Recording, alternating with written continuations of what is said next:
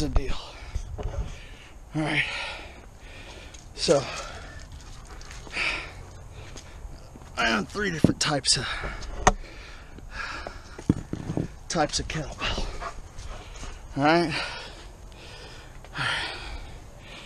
Okay. So, the first one that I ever owned was a cap barbell. Okay? And it's got a nice handle and a semi I mean the finish isn't that durable, I mean, but it's a it's a nice finish, but it's just not durable. Okay? But it's a decent uh, kettlebell. I would have bought a I would have bought a 70 pounder from Cap because they're not bad kettlebells. Although they're not really flat uh, to, to like do any kind of them uh, push-ups on your kettlebells. Kind of rocky. It's kind of hard to do. But the handles are, are nice on them. Now, I cannot remember which brand this is, but here it's it says it's 55 pounds, and I bought it from Dick's. And the reason I bought a 55 pounder is because they're getting rid of it. Okay, for uh, at Dick's Sporting Goods because they're moving to the Ethos brand.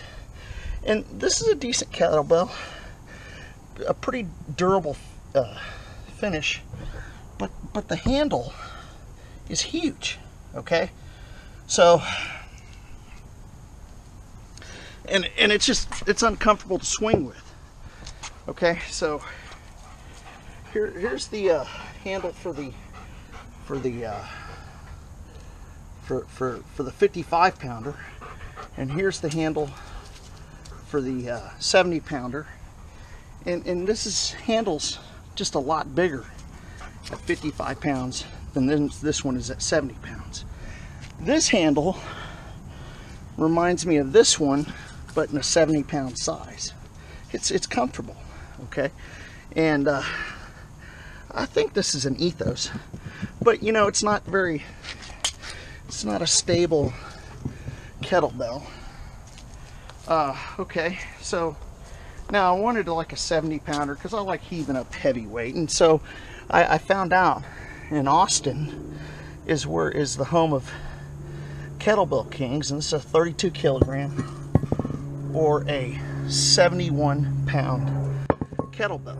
Now, it does not rock when you push on it like those other two. Uh, handles very, very nice.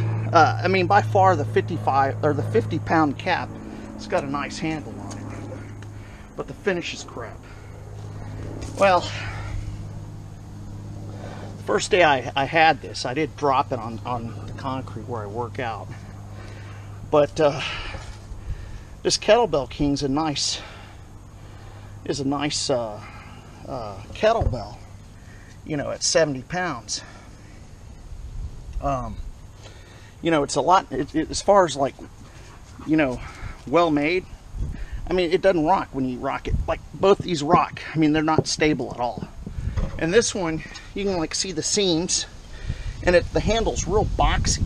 So, you know, just kind of a comparison of, of the kettlebells. And I have this, and I, I got two, I got uh, three more caps. But in actuality, if you're going to start out in kettlebell, okay, and uh, I mean, the, the finish on this one's crap but it's from Walmart. Okay, I guess it's the Gold's Gym brand or something.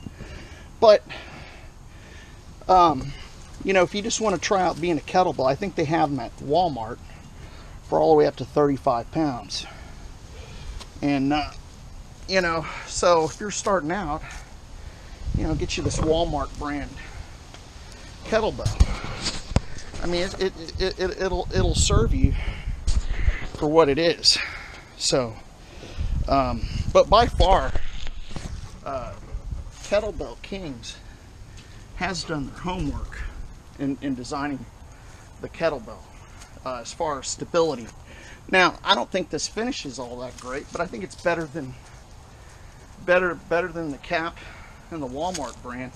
I can't remember what brand that is, but that's got a pretty decent finish on it. I mean, I rake it up against concrete, and and you know, and there's the bottom of it, and here's the bottom of the cap, and here, and I've had this one a couple of days, and then there's the bottom of the uh, kettlebell kings.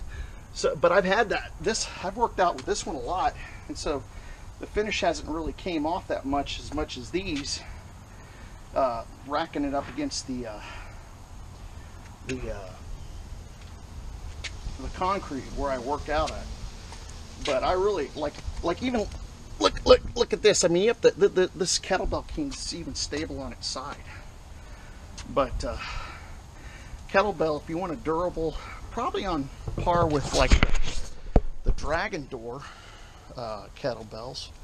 They they had this new thing called Cer- Cerakote or Cerakote, and it's a ceramic epoxy coat or something like that, and it binds to metal really well. But uh, and and the guys at Kettlebell Kings are, are, are, are you know they're great to deal with. Uh, I was in awe when I went up to their factory because it was in Austin, South Austin, and I'm about 45 minutes away from there. And uh, they're real friendly people. Uh, you know, they, they they joked with me that they didn't know what they were going to do when they got out of college, so they just started getting you know selling kettlebells. This is funny, but uh, yeah. So I like I like that kettlebell Kings. It's a very very well made kettlebell.